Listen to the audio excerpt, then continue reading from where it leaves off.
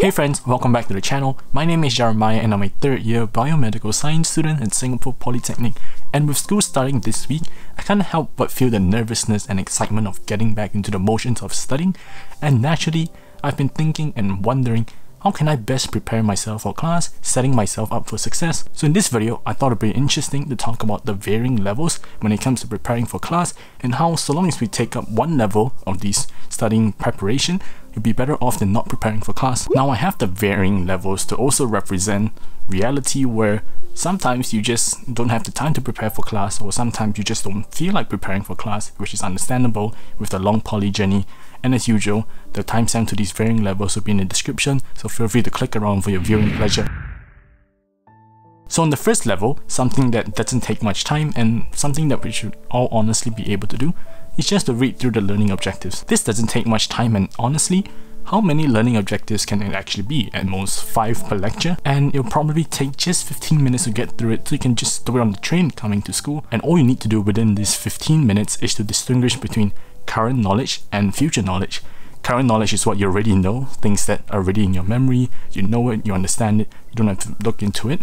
And for future knowledge is stuff that you're going to know because we like to believe that we will know whatever's going on after we study the content. And the benefit of doing this is to just know what you don't know when going to the lesson so maybe you can pay extra attention to it and maybe you can bring it up to your teacher's attention that hey, I may need more help in this area so he or she may focus on this area more. And if you have a little extra time within this 15 minutes, you can do some super light reading on the stuff, the future knowledge, so that you go into lessons not asking the simple questions like what is the definition of this, and you can have a more productive conversation with your teacher when inquiring on some of the knowledge gaps that you have.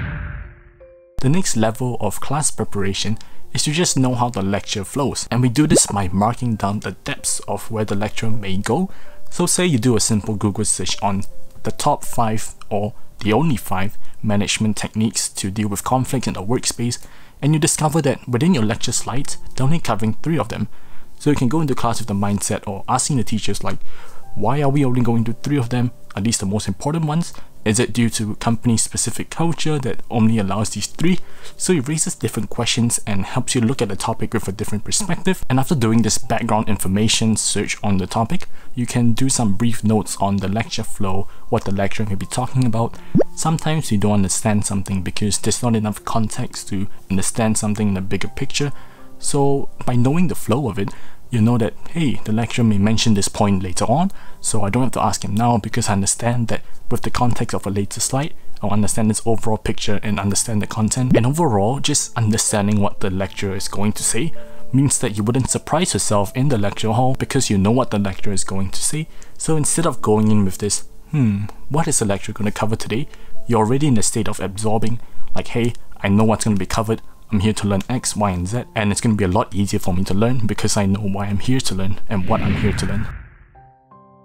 And for the final level of class preparation is to really just go learn the content and it will be an incorporation of everything and all the techniques that we've done so far and of course for this entire video we've operated under the understanding or under the assumption that you're given the lecture content before the lesson which is usually the case in poly. So I do have a list written down here which I'll be referencing so if I'm looking off to the side you kinda know why. So the first thing that you do is to just copy all the learning objectives from the lecture and then you start to browse through the entire lecture, making notes of which part of the lecture fit into which part of the objective, basically structuring out the lecture slides, and it may be helpful to just write down which slide goes with which objective in your notes. And afterwards, knowing which slide belong to which objective, you can start putting down major headers, so maybe the top three headers under each objective of what the main crux of it is. And from there, you can start to distill between what's knowledge or current knowledge and what's future knowledge, now because we are just preparing for class, there's no need to put down whatever your current knowledge is, we're just focusing on future knowledge.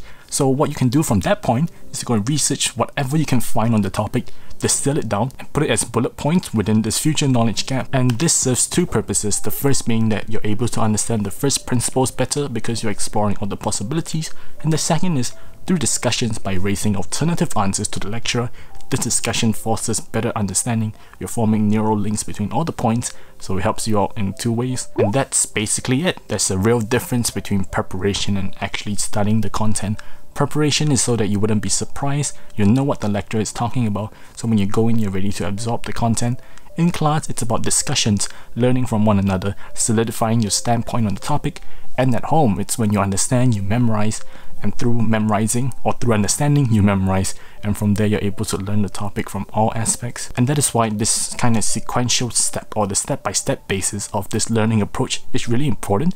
Because if you were to skip any of these steps you mean pushing the steps down and procrastinating the steps meaning the part where you wouldn't be surprised would be in the lesson, and the part of discussion will be after the lesson when there's no discussion and basically just derails everything, makes it less efficient. So if we kind of stick to this, we may find learning to be a bit more enjoyable because it's a systemic approach that is fun for us, we're able to understand the topic better, and that may ultimately just lead to better grades. Alright, and with that, I hope that we can all walk into class together with our heads a little higher, knowing that we're better prepared for the class.